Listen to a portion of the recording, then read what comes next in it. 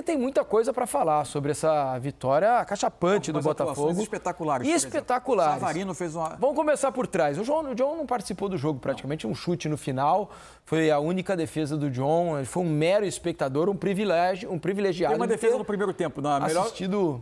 No, numa boa jogada do Penharol, no, em que o Pérez, o, um dos volantes. É verdade. É, é, é, a primeira, é a primeira chance de isso, fato do jogo, isso, né? É isso. Um susto que o Penharol dá no seu melhor momento no jogo. É verdade, ali 24 do primeiro tempo. Mas fora isso, teve o um chute no final, né? Mas sem muito perigo. E, e o John foi um, quase um espectador ali de dentro é do o, campo. É que, o, Agora, ah. é que o impacto do jogo que o, o Penharol causou nessa primeira parte, ele não põe nos primeiros 30 minutos ele é grande porque ele consegue marcar super bem, então ele dificulta tudo pro Botafogo e ele consegue jogar quando ele tá com a bola. Não é que estava sendo somente é, é reativo. Uhum, é verdade. O Botafogo não estava conseguindo é, identificar e marcar. A hora que eles chegavam no campo defensivo do Botafogo, eles tinham um espaço até no meio de campo. E era sempre um jogo direto, né? Pro Silveira receber de costas e a partir dali os jogadores é. se aproximavam para pegar essa segunda bola. Tanto que o Botafogo não teve nenhuma chance clara no primeiro, no primeiro tempo, tempo, né? Não. As duas melhores oportunidades que o Botafogo teve foram com o Luiz Henrique, sempre trazendo para dentro. Uma ele traz e bate alto. É, alto, né? A bola sobe demais, ele dá na cara dela, ela acaba subindo. E depois ele faz a mesma jogada, ameaça, traz para dentro e bate. O goleiro é, faz uma boa defesa. Foram as duas únicas oportunidades que o Botafogo teve é, e as duas no, nos pés do Luiz Henrique. Mas antes de falar da parte da frente, eu queria destacar o Vitinho, né? Porque fez mais um grande jogo, o Vitinho é, com muita consciência para jogar quando vai à frente, inclusive dando um passe para gol, né? É, ele chega à linha de fundo, um passe com consciência para trás. É, é, um jogador que tem crescido, né? Tem ganhado confiança e tem sido muito importante aí é, nesse esquema do Botafogo. E quase sempre jogando mesmo com, como um ponta, né? Às vezes trocando de posição com o Luiz Henrique. Ora é o Luiz Henrique quem cola na linha e o Vitinho, o Vitinho vem, vem, por, por trás.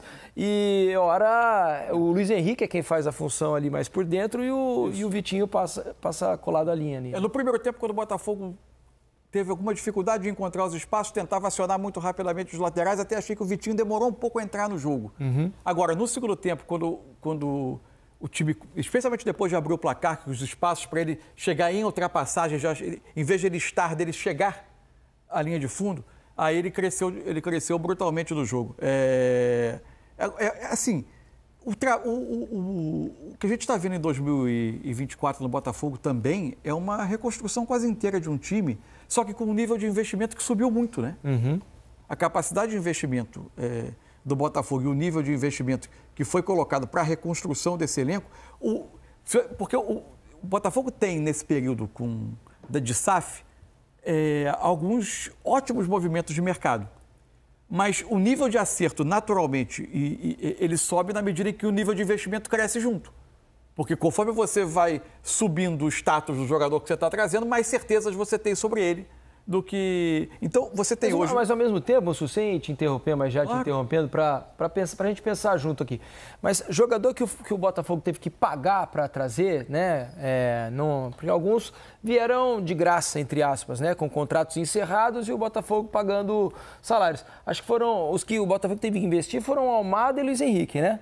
Porque não, o é, Igor Jesus, por exemplo, veio é, praticamente livre, o Savarino vem livre. Alex Telles. Alex Telles vem livre. É, Barbosa vem livre. Uh, Bastos, Bastos acho que vem livre. Bastos não, não, tenho certeza, mas eu acho que o Bastos também Imagina, vem livre. Ou conhecia. seja, investimento e alto houve em Almada e Luiz Henrique, né? Mas ainda assim são jogadores. Alguns jogadores, o Alex Telles, por exemplo, não é um jogador barato. Uhum. E quando o jogador está livre, ele se torna dono da transferência dele, em grande parte. É evidente que uma, os, os, valores, por exemplo, que você paga numa luva, num prêmio por assinatura de contrato. Lógico, o contrato é todo ele é alto, é mas é um contrato alto. Um jogador de valor. O, o, nível de jogador que o Botafogo foi buscar nessa janela é muito é claramente superior à de a, a, das primeiras janelas dentro do modelo SAF. Naturalmente, o, o gasto aumentou brutalmente, é um gasto altíssimo. O Botafogo provavelmente tem hoje um dos maiores gastos de futebol do Brasil. É, não está chegando à final da Libertadores isso não é pecado nenhum. O, o, no mundo inteiro, os títulos estão ligados a investimento. Não, só, só, só pode, só é possível você investir tendo dinheiro. A e em grandes exceções Lógico, de grandes fenômenos. Só que com isso, o Botafogo ele não tinha praticamente ativos, vamos dizer, era muito pouco. Hoje ele tem um time, então ele tem um valor de marca que é muito maior ele tem uma arrecadação com tudo isso, não só esportiva, né, como marca que se vende mais, se consome mais, é muito maior. A hora que vender ali na frente esses jogadores, então ele, ele já começa a entrar num fluxo de caixa um pouco diferente, mas a saída de início, que ele não tinha um time lá no ano passado, se a gente for pegar, naturalmente, lógico que facilita muito e ajuda muito você ter. O fato de você acertar mais ou menos nas contratações, depois depende muito dessa, dessa condição de uma, de uma comissão técnica, né, de um treinador, de, de fazer da liga, né, cara? E fez da liga. Desde o ano passado, queira ou não, já deu. Agora, da maneira que ele se reforçou para esse ano, que precisava até de um, de, um, de um, reforço emocional diferente diante daquilo que aconteceu, eles fizeram super bem. E outra, hora que teve a oportunidade do Vitinho do Alex Telles, não titubeou. É. Lógico que a hora do dinheiro, o projeto do Botafogo também, além do dinheiro, convenceu um Alex Telles, um exemplo, a vir para cá, porque era um cara que outros times queriam, né? Ah, sem dúvida. E a reconstrução é quase que total, total. né? Porque total. se a gente pensar do que, que era o ano ser. passado e está titular hoje, é só Marlon, Marlon Freitas, Freitas, né? É. E outra, para você, investir, chegaram você investir num time que normalmente, infelizmente, brigava para não cair, você pegando, às vezes, com todo respeito, aquilo que às vezes sobrava no mercado por causa de ser um jogador mais barato, hoje o Botafogo ele investe para conquista, né? Então ele está passando a essa certeza. investimento alto, né? Vitinho teve. Vitinho deve ter sido também, porque é, saiu do. Aqui. É, saiu de lá, né? É, mas, é, mas assim, é importante assim, né, o, o Flamengo gastou, o Botafogo gastou, mas gastou bem, né? Sim. Porque o retorno é muito bom. É, é fruto também do, do, trabalho de scout não, do não, Botafogo. A, a competência é absurda. É né? A, a, a... É que se você pega uma lista de contratações do Botafogo desde a implantação da SAF, você vai encontrar uma lista enorme de jogadores que terminaram não jogando, jogaram muito pouco, ou, ou alguns não funcionaram. O que acontece em qualquer projeto é que você tem uma quantidade, uma reformulação completa de elenco. Só que, também como em, acontece em muitos projetos, esse número de jogadores que não funcionam, ele vai diminuindo conforme o valor gasto pra, no Sim. mercado é maior, porque as certezas aumentam. E, e a, agora, a formação desse time ela é um acerto enorme. Né? É, o, Vitinho, o Vitinho também foi contratado, 8 milhões de euros. O Botafogo pagou. É um jogador jovem que também importante. tem retorno depois de venda. Então, o Botafogo, nesse início, ele deu essa largada e agora a administração do que vem pela frente, né? É o que vai fazer com que essa questão de valorização, se ele arrecadava um X, vai arrecadar 2X mais Y. E aí vem uma questão muito diferente, que é a questão da SAF. Ela pode trazer isso, que a gente viu o Vasco, infelizmente, gastando também, não conseguindo montar um, um time nesse sentido, com todas as características especiais para cada caso teve. Agora, do meio para frente, né, o Botafogo está iluminado, né? É, quando não é o Luiz Henrique que desequilibra, hoje desequilibrou mais uma vez. também, mas o Savarino é, para mim foi o Savarino fez um grande jogo, um grande jogo. O, o Igor Jesus, do meio para frente do segundo tempo, melhorou muito, isso. né? O primeiro tempo foi difícil para ele, ele estava muito encaixotado. É, isso, mas ele tem uma participação importante da bola parada no, no, lance do segundo gol, o gol do Barbosa, né? Isso. Porque ele ganha a primeira bola, é. depois ele, ele começa a ganhar uma série de primeiras bolas que acionam um contra-ataque muito rapidamente. O próprio gol dele, né? Gol. É ele quem começa a jogada, isso. dá a bola na, na ponta, né? E aí tem a finalização. Ah, o rebote do o goleiro. rebote do goleiro, ele cabeceia e faz o gol. Então, assim, é, todo mundo participa muito, é muito bom, né? O time é muito bom. Muito bom. E... Individual, individual, e coletivamente, o time é muito forte. E eles têm tomado é, boas decisões também, né, Alex? Porque num jogo grande como esse de hoje, é muito fácil o jogador se precipitar, acabar tomando uma decisão é, menos menos acertada porque a cabeça não está 100% fresca, né? É, a tensão é muito grande, o nível de, de acerto diminui. Conforme a, o nível de dificuldade sendo maior no momento mais difícil, ele naturalmente ele te exige mais. Você não pode ter medo de tomar decisão, mas você tem que ter lucidez para tomar a melhor decisão, né? E aí, eu, agora eu tomo uma errada, outra errada, porque você está dominando o jogo, você vai ter mais ações, e aí você tem que ir entendendo nesse mapeamento aonde que eu estou podendo, de repente, ganhar desse, desse adversário, entende? E o Botafogo, nesse sentido, ele tem tido muita lucidez desses atletas que estão super bem individualmente e o coletivo eles conseguem ter essa questão, opa, aqui nós podemos mexer essa peça aqui para abrir esse espaço. Então, é, o, o, futebol dentro do seu, dentro do seu elenco, com todas as, as capacidades e qualidades que você tem, e junto com os defeitos, ele é um aprendizado constante, cara. Assim, você fala, puxa, isso aqui eu não tinha pensado, isso aqui eu ainda não tinha enxergado. E dentro do Botafogo a gente percebe que tem um aprendizado que ele não acaba, né, cara? Assim, ele é, ele é insatisfeito até que se conquiste aquilo que precisa, né? Assim, eu acho que tem um outro é. jogador que faz um trabalho no Botafogo. É, é um dos jogadores que o Botafogo mais sente a ausência. Nas vezes em que poupa algum jogador, que roda o elenco, que ele não está, que é o Gregory. Porque quase sempre ele é o jogador que encosta junto dos dois zagueiros para fazer a saída de bola com três homens. O Botafogo se encontra muitas vezes no jogo com os dois laterais afundados no campo ofensivo Sim. e o trabalho que ele tem de fazer coberturas de um lado de outro, é, a capacidade dele de marcação, ele dá uma, ele é responsável por um equilíbrio, por evitar que o Botafogo, que já foi no início do trabalho um time que tinha a sua exposição defensiva como um calcanhar de Aquiles, o Gregor é um jogador que ganhou uma importância gigantesca. Assim. Ele é um jogador de difícil substituição pela quantidade de campo que ele é capaz de cobrir, capacidade de desarme, de pressionar e de iniciar a jogada. E ele tem essa, essa característica, ele ajuda muito a dar liberdade para o Marlon. É. é. Porque ele protege lá, mas ele ajuda a proteger também os zagueiros ali nesse sentido. Pensando no jogo da volta, sabe que eu estava olhando a tabela é, de jogos do Botafogo? É, é. Cara, 5 a 0. É um absurdo. Olha só.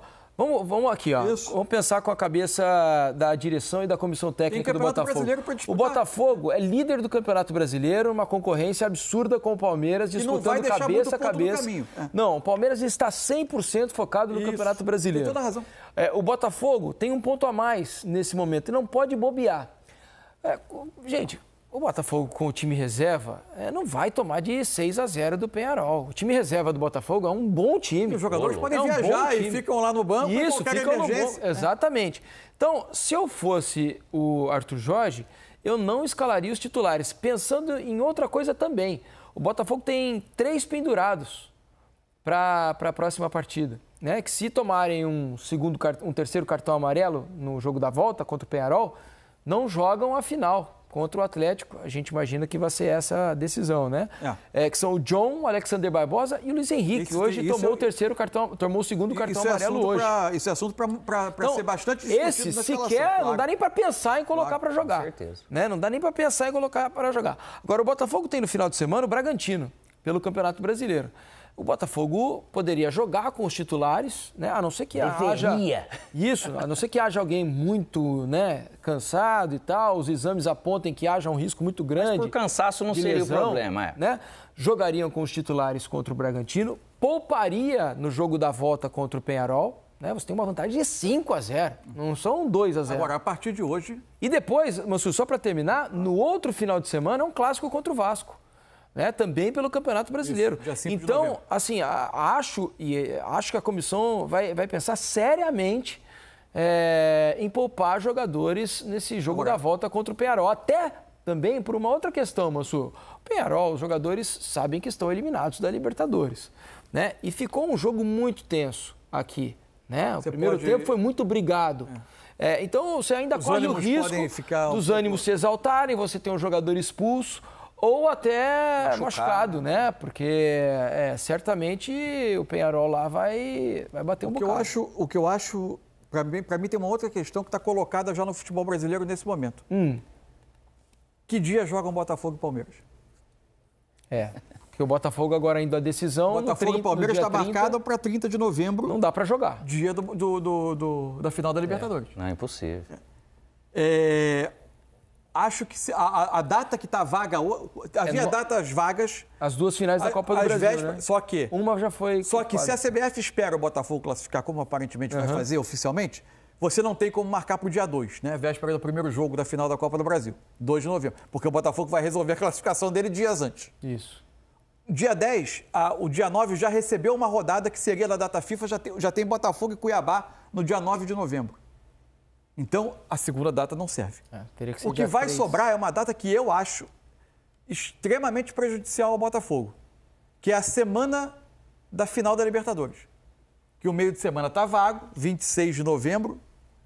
Antes no, do dia 3 30. não é possível. É que 3 já está aqui, né? Porque você teria é. que marcar agora esse jogo. É. Mas e, e dia... não foi marcado, né? E, e o 17 do 11? Oi? Que é a data FIFA. Não poderia marcar. Mas o Botafogo cheio de convocados, como é que vai jogar? O Palmeiras Verdade. também vai ter convocados, vão jogar os dois times super Verdade, desfalcados, né? Disputando nisso. o título, todos os dois desfalcados pra, pela data, Na data FIFA. FIFA. Não faz sentido. Não, não faz, faz, sentido. E... Ainda tendo, você escolhendo, entre aspas, uma data, né? É. O 3 de novembro tem, tem 2 de novembro tem, e 5 de novembro tem Vasco, Botafogo e Vasco, né? Isso. Não é simples encaixar o jogo. É. É, e 26 de novembro, que é, em tese é uma data de meio de semana livre, obrigaria o Botafogo a jogar duas decisões em quatro dias. Imagina jogar um jogo como esse contra o Palmeiras na véspera de embarcar para a final da Libertadores, é, porque ele tem que embarcar dois ou três dias antes. Agora, infelizmente, seria uma não injustiça, a informação mas, precisa. É, não, não, não vai haver alternativa. Mas, é, mas seria injusto porque jogar Botafogo, o, né? Sim, é, jogar o campeonato mais para frente também não é possível. Não é possível, tem Intercontinental. Porque tem campeonato intercontinental logo depois do fim do Campeonato Brasileiro. Ixi. O Campeonato Brasileiro termina no dia 8, não é isso, moço? 8 de dezembro. 8 de dezembro. Dia, 11 dia 12. 12. 12. 12 tem jogo no Catar. Então, assim, é, o, o Botafogo, vamos supor que o Botafogo ganhe o Campeonato Brasileiro. Não dá para comemorar, porque dia 12 já tem a semifinal do campeonato E a chance de ir para a última rodada é enorme, né, o brasileiro. Isso. Se for comemorar, então, tem que tomar só água, não pode tomar não, um E o Botafogo vai ter né? que fazer o último jogo do campeonato e já viajar. Porque a, Cara, mas de o toda, campeonato é no Catar. Mas de toda maneira, realmente. Então vai pegar um jogo desse, ou fala pra CBF, você não convoca os caras, que é impossível, não tem como, né? Porque é seleção. Tô dizendo não, Botafogo. Porque as outras seleções é, dos outros países jogam. É, não, e eu falo só, assim. Só pra deixar claro, eu tô dizendo Botafogo aqui, mas pode ser o Atlético. Claro. Sim, né? sim, o, sim, tô verdade. dizendo o campeonato do o campeão brasileiro. Mas falando deles, até até na questão de data FIFA, que tem esse prejudicial, daqui a pouco você vai falar, poxa vida, gente, vamos juntar os dois clubes aqui, o que, que nós vamos fazer? Né? Vai, ter que, vai ter que ter essa reunião.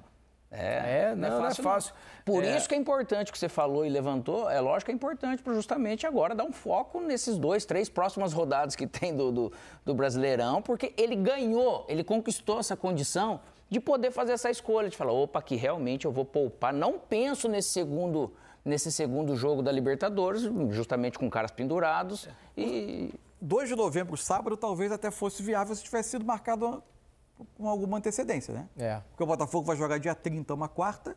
Mas aí teria que se justificar, né, Mansur? Você não pode fazer essa é troca projetando no futuro o que pode acontecer, é. você mudar um jogo que é fundamental para a decisão, decisão, do título, do né? E aí você aí vai antecipa, antecipa é um outro momento do campeonato. E de repente o Botafogo é eliminado, não está na final da Libertadores, né? E esse jogo pode, o poderia é que acontecer. Tudo isso acontece porque a quantidade de jogos que tem no Brasil não cabe no calendário. É. Ou será que de repente, não sei, será que eles não pensaram ou estavam pensando nisso, mas também esperando algo dessa semifinal para daqui a pouco ver se ele mexe ou não, porque pensar nisso antes e daqui a pouco não classifica para a final, né? É, às vezes eu tenho a desconfiança que no íntimo lá fica uma parte da, nos gabinetes da CBF ficam torcendo para os brasileiros caírem nas competições Ah, sul-americanas para facilitar o calendário. Tenho certeza que a, a, o pensamento nesse momento é para facilitar o calendário. Né? Não dá pra Mas mudar. infelizmente para eles, Botafogo acontecido. e Atlético nos é, últimos chegaram anos, à Nos decisão. últimos anos o Brasil sempre o acaba O chegando. que ajudaria era mudar a data FIFA, então. É, Pelo Brasileirão, também- ué. Tem data Isso também não vai acontecer. 2030 já, hein? Nossa. Não, não é surpresa para ninguém.